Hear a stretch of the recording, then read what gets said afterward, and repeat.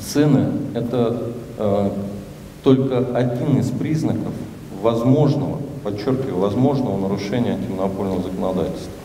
Значит, две статьи 135 э, закона, э, которые позволяют нам на эти вещи реагировать. Первое – это монопольно высокая цена, ну, приблизительно всем понятно, да, э, когда задирается цена выше себестоимости,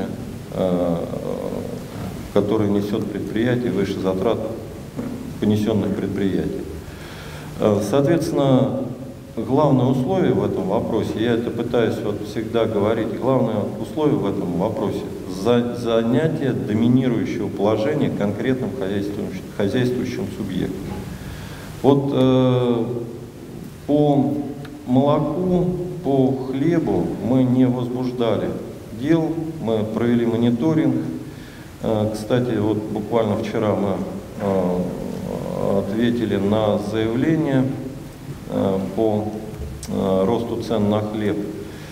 Соответственно, сейчас и, в принципе, мы тоже отказали в возбуждении дела, хотя ну, поразительная ситуация там вот, по одному из магазинов, именно вот по тем основаниям, что он не мог. Один из магазинов задрал цену там на 40-50%, 25 рублей батон хлеба. Вот, зафиксировали. Но потом эта цена была снижена вот быстро.